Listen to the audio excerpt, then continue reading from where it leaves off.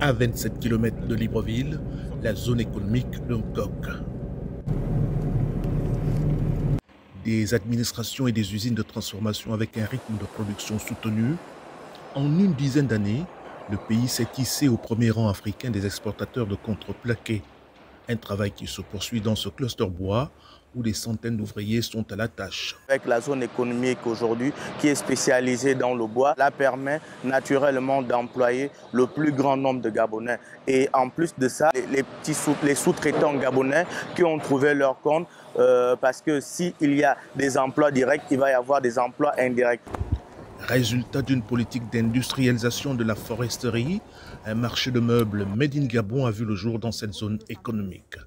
La matière première qui nous sert de base de construction de ces meubles, le bois est local, il est tracé, il est certifié. Travaillons avec du bois qui est bien sec, ce qui permet la longévité du meuble une fois fini. Dans un contexte de forte exigence de bois certifié au Moyen-Orient, aux États-Unis et en Europe, c'est toute la filière de transformation du bois local qui s'est mise au pas. Cette société forestière du sud-est du pays contrôle toutes ses activités. Steve Badinga est en charge du travail de monitoring qui part de l'abattage à l'attribution d'un numéro sur chaque coupe opérée. Lorsque l'arbre est abattu, on met sur la souche un numéro forestier. Ce numéro forestier nous permet de faire une traçabilité de ce bois-là. Donc on aura un lien direct entre le numéro d'inventaire et le numéro forestier que le commis d'abattage vient de mentionner sur la souche.